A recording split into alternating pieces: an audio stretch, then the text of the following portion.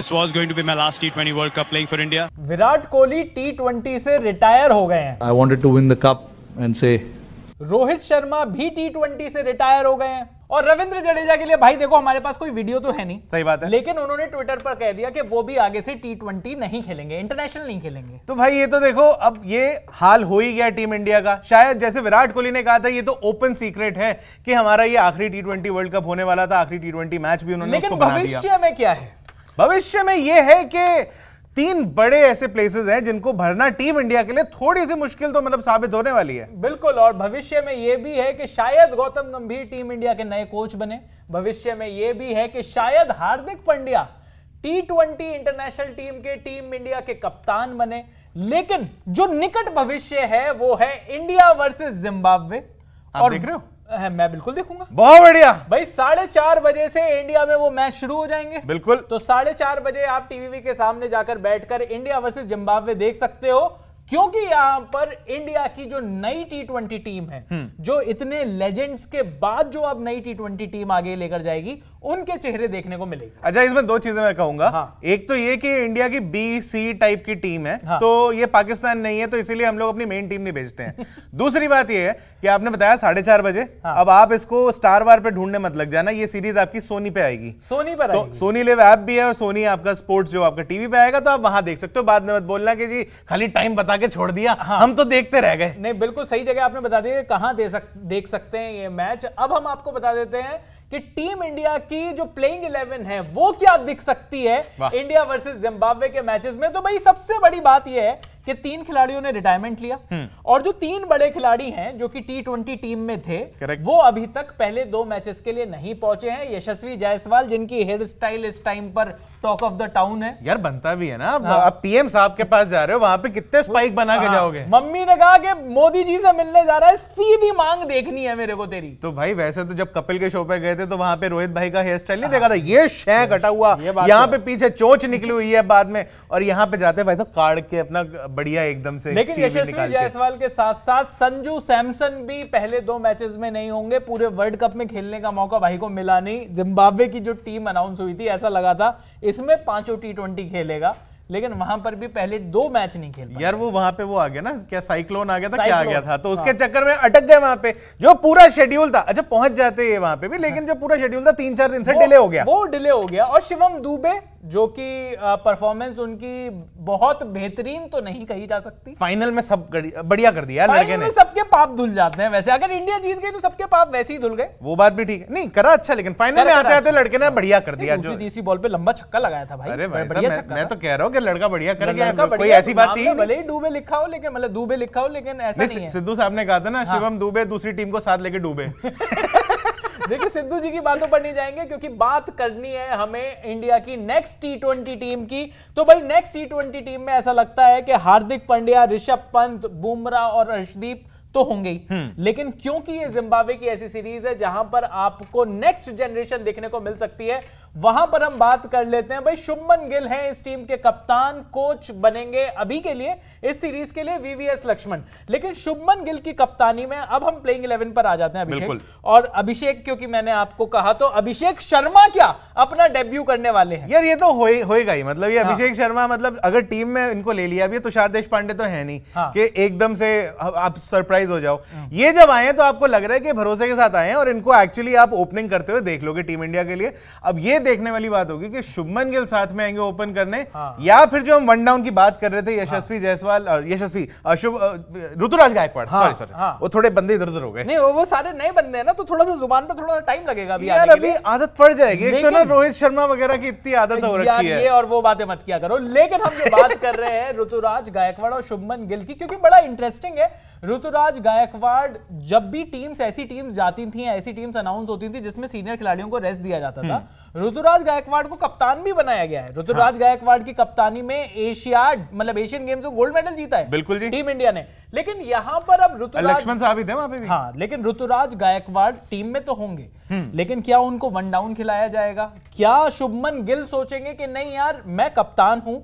मेरे को अगर इस टीम में रहना है तो इस टीम में वो विराट कोहली वाला रोल प्ले करना होगा तो मुझे नंबर तीन होना चाहिए। वो एक देखने वाली बात होगी लेकिन अभिषेक शर्मा जिनकी हम बात कर रहे थे आईपीएल में सबसे ज़्यादा छक्के उन्होंने लगाए मतलब क्लासन भी थे जिस टीम में हाँ। जिस टीम में ट्रेविस हेड भी थे मतलब पूरे आईपीएल में तो इतने धुरंधर थे लेकिन वहाँ पर इस आईपीएल में सबसे ज़्यादा छक्के अभिषेक शर्मा ने लगाए दिक्कत तो ये हुई ना सारे फैंस जो आईपीएल वाले फैंस होते हैं जो दो हाँ। महीने के लिए अचानक से पुचुक करके निकलते हैं एकदम से तो इन्होंने कहा कि अगर अभिषेक शर्मा आ सकता है हाँ। तो भाई क्या मुसीबत थी कि आप शशांक को नहीं लेके गए हाँ नहीं, तो नहीं ये ये भी था लेकिन और आशुतोष को नहीं लेके गए बात उनकी मतलब ठीक है वैलिड बात है भाई सब लोग क्रिकेट देख रहे हैं सब लोगों को लगता है कि आईपीएल में जो भी परफॉर्म करे सबको आ जाना चाहिए। एक सीरीज़ और करा दो पापुआ न्यू गिनी से। लेकिन अभिषेक शर्मा की अगर हम बात करें तो अभिषेक शर्मा बॉलिंग भी कर लेते हैं और वो उनके फेवर में गया हाँ। है कहीं ना कहीं टीम इंडिया देखो यार इस वर्ल्ड कप में ना एक बात और जो अलग सी दिखाई दी वो टीम की वो ये दिखाई दी कि टीम इंडिया ने हर मैच में आठ बैट्समैन और छह बॉलिंग ऑप्शंस के साथ अपनी टीम बनाई करेक्ट चाहे वो सबसे बेस्ट पॉसिबल इलेवन ना हो हम्म। लेकिन बैलेंस के मामले में बेस्ट हो ऐसी टीम बनाई गई बिल्कुल। और वो टीम वर्ल्ड कप भी जीत के लाई तो कहीं ना कहीं शायद आगे जाकर भी अभिषेक और शायद टीम इंडिया का मैनेजमेंट यही सोचेगा कि भाई नंबर आठ तक तो बैटिंग होनी चाहिए। और एक ऑलराउंडर वाला भी है कि आपके बॉलिंग ऑप्शन भी आ जाते हैं। बिल्कुल। कि बाद में आप अगर बैट्समैन से भी आप अचानक से देखते हो टी ट्वेंटी वर्ल्ड कप के अंदर हाँ। कि वहाँ पे बुमराह आते हैं तो वो भी लप्पे घुमा रहे हैं एक आधा शॉट तो चिपक जाता है। और पहले अरे अर्शदीप ने चिपका दिए अर्शदीप ने चिपका दिए और सिराज आके भी भाई साहब कर कुछ नहीं पा रहा हाँ, था शुरुआत में लेकिन फुल एकदम भाई साहब भोकाल मचा दिया था। फुल एंथू है तो भाई पहले नंबर पर शुभमन गिल अभिषेक शर्मा की ओपनिंग नंबर तीन पर ऋतुराज गायकवाड़। अब नंबर चार पर वो खिलाड़ी जिसका लोगों ने सोचा नहीं था रियान पराग। पर रियान पराग को पता है कि टीम इंडिया वर्ल्ड कप जीत गई भाई पता तो होगा ही क्योंकि इन्होंने कहा था कि वर्ल्ड कप मैं नहीं देखूँगा लेकिन हाँ। फाइनल देखूँगा। अच्छा फाइनल बोल दिया था। फाइनल बोल दिया तो था। फिर तो भाई को पता होना चाहिए कि इंडिया जीत गई है सोचो अब भी ना पता हो। सोचो वो जिम्बाब्वे पहुँच रहा है वो कह रहा है कि वो कह रहा था ना कि मैं खाली वही मैच देखता हूँ जिसमें मैं खेलता हूँ। हाँ तो कह रहा है कि अब मैं जिम्बाब्वे सीरीज़ देखूँगा वर्ल्ड कप भाड़ में जाए। पर वो देखेगा कैसे अगर खुद खेल रहा होगा तो। भाई पता नहीं वापस जाके हाईलाइट ही देख रहा होगा। लेकिन चलिए नंबर चार पर मुझे लगता है कि रियान पराग ने फाइनली और मतलब सैयद मुश्ताक अली ट्रॉफी की बात करें तो यहाँ पर सबसे ज़्यादा छक्के उन्होंने लगाए थे। बढ़िया उनकी परफॉर्मेंस इस आईपीएल में भी बढ़िया परफॉर्मेंस रही थी और नंबर चार पे इन्होंने अपना खूटा इसलिए भी गाड़ दिया क्योंकि संगाकारा साहब जो थे हाँ। उन्होंने ये एडवाइस दी थी इनको कि भाई तुम जब वापस जाओगे असम की अपनी टीम में भी जब खेलोगे हाँ। वहाँ पर भी नंबर चार पकड़ कर रखना और सारी अपनी परफॉर्मेंस वहीं पे करना। उसके बाद जब यहाँ पे इतने सालों के बाद जब नंबर चार पे इनको लेके आए। संगाकारा साहब अपने हिसाब से भाई साहब परफॉर्म कर गया लड़का। नहीं परफॉर्म कर रहे हैं नंबर चार पर और नंबर चार पर जगह भी है क्योंकि सूर्य कुमार यादव जो कि नंबर चार पर बैटिंग किया करते थे वो यहाँ पर नहीं है तो अभी नंबर मतलब वो नंबर चार वाला जो स्लॉट है क्या सूर्य कुमार यादव वाला जो काम है वो रियान पराग कर सकते हैं ये देखने वाली बात आई थिंक रियान पराग ने वही टेम्पलेट पकड़ा हुआ है कि हाँ। एकदम से आते ही मारेंगे नहीं पहले थोड़ा सेट होंगे हाँ। ये केएल राहुल वाला रोल है सूर्य हाँ। कुमार यादव वाला नहीं है हाँ। लेकिन ठीक है कम से कम रन बाद में मार रहा है बिल्कुल और नंबर पाँच पर रिंकू सिंह हाँ। नंबर पाँच पर रिंकू सिंह। रिंकू सिंह जिनको पूरे वर्ल्ड कप में मौका नहीं मिला शिवम दुबे की वजह से। शिवम दुबे की वजह से अ, वो बाहर बैठे हुए थे लेकिन एक बात सच हो गई थी हाँ। कि आईपीएल में उन्होंने कहा था ट्रॉफी मैं ही लेके आऊँगा। गॉड्स प्लान बेबी तो गॉड्स प्लान करते हुए भाई ने ट्रॉफी तो पकड़ ली थी नहीं। बिल्कुल और रिंकू सिंह जिनको इतने टाइम से मौका नहीं मिला है अब मुझे ऐसा लगता है कि चाहे शिवम दुबे टीम में आए चाहे ना आए कोई आए कोई ना आए लेकिन रिंकू सिंह मेरे ख्याल से परमानेंट फिक्सचर रहेंगे इस टीम बिल्कुल। का और रिंकू सिंह यार दो साल से एक ही प्लेयर इन्होंने बनाया था ले हाँ, रिंकू सिंह जिसके ऊपर इतनी मेहनत करी थी जो अफ़गानिस्तान के आगे रोहित शर्मा और रिंकू सिंह मिलके ही जो मैच हारने की कगार पर थे हाँ। इंडिया की इज़्ज़त इन दोनों ने बचाई थी और फिर इसे बाहर कर दिया अभिषेक और एक और बात है भाई जितने भी हम प्लेयर्स की बात करते हैं हम्म। बाकी प्लेयर्स की हम जब बात करते हैं तो उनकी आईपीएल परफॉर्मेंस के हिसाब से बात कर रहे हैं हाँ। सैयद मुश्ताक अली ट्रॉफी के करेक्ट इसकी परफॉर्मेंस के हिसाब से बात करते हैं तो टीम इंडिया में जितने मैच खेला उसकी परफॉर्मेंस के हिसाब से बात करते हैं। भाई तब भी ये आदमी कैसे प्लेइंग 11 में नहीं था ये तो जाँच का विषय सीबीआई जाँच प्लेइंग इलेवन नहीं आप पूरा स्क्वाड गए पंद्रह का। अब ये उसके बाहर क्यों थे? सोचिए। इंडिया के लिए बढ़िया रिकॉर्ड है हाँ। लेकिन आईपीएल अच्छा नहीं गया था तो बाहर करो पहले शिवम दुबे को लेके आओ। लेकिन चलो खैर अंत भला तो सब भला क्योंकि टीम इंडिया ने वर्ल्ड कप जीत लिया है गॉड्स प्लान बेबी नंबर छह पर विकेट कीपर कौन होगा? संजू सैमसन की ये जगह थी पर संजू सैमसन क्योंकि पहले दो टी ट्वेंटी में नहीं पहुँचे अब Dhruv Jurel already wicket keeper हैं। संजू सैमसन की जगह पहले दो मैचेस के लिए उन्होंने भेज दिया है जितेश शर्मा को।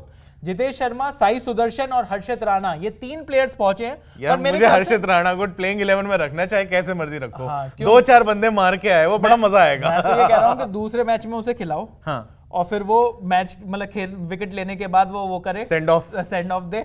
सस्पेंड हो जाए फिर मैं तो अगले मैच में था ही नहीं तुम सस्पेंड करके God's plan. गॉड्स लेकिन यहाँ पर ऐसा लग रहा है कि ध्रुव जुरेल शायद बाजी मार लेंगे एज अ विकेट कीपर यार जितेश शर्मा भी बुरे ऑप्शन नहीं है ऐसे देखा जाए तो दोनों का हैं दोनों तो देखा जाए तो। कैसी बातें कर रहे हो? मतलब अगर आप मैं तो सिर्फ़ स्टैट्स की बात कर रहा हूँ ये आईपीएल तो उनका अच्छा गया ही नहीं उससे हाँ। पहले जितने भी उनको मौके मिले टीम इंडिया में वो भी वो भुना नहीं पाए तो कम से कम ध्रुव जुरेल को इस तरीके से ध्रुव जुरेल का भी जो टूर्नामेंट है अगर आईपीएल की बात करो। लेकिन जब नेशनल कलर्स में जैसे ही नेशनल जर्सी पहनते हैं ध्रुव जुरेल तो सुपर कमांडो ध्रुव जुरेल बन जाते हैं। तो फिर आप ये कह रहे हो कि हार्दिक पांड्या वाला जो है टोटका इनके ऊपर भी पूरा पूरा किया जाएगा। बिल्कुल किया जाएगा मुझे लगता है कर लो जी, कर लो, कोई टेंशन नहीं है। मौका मिलना चाहिए।